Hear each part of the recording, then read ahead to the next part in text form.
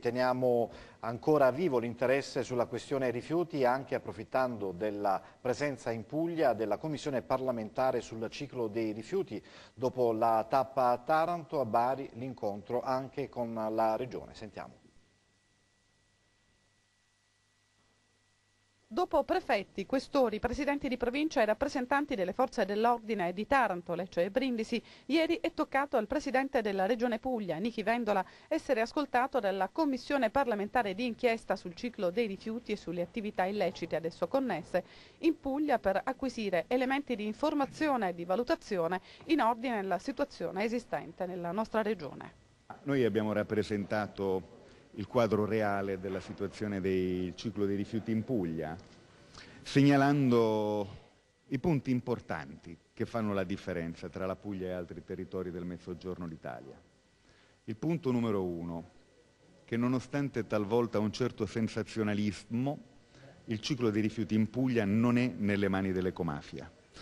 La seconda considerazione, quello che sta ulteriormente accadendo in Campania dimostra la saggezza se posso per un attimo eh, mostrare un elemento di vanagloria, la saggezza della scelta della chiusura del commissariamento straordinario dei rifiuti. Perché come si vede in Campania sempre più chiaramente, lo strumento commissariato straordinario, lo strumento emergenziale di governo è ciò che produce l'emergenza.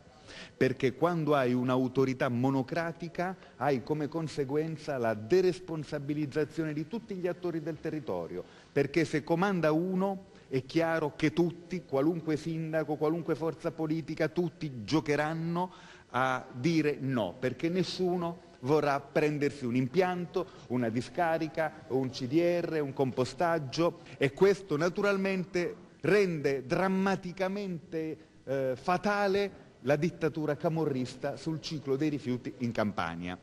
Noi abbiamo fatto partire i cantieri di tutti gli impianti che devono servire a costruire un ciclo moderno dei, eh, dello smaltimento dei rifiuti.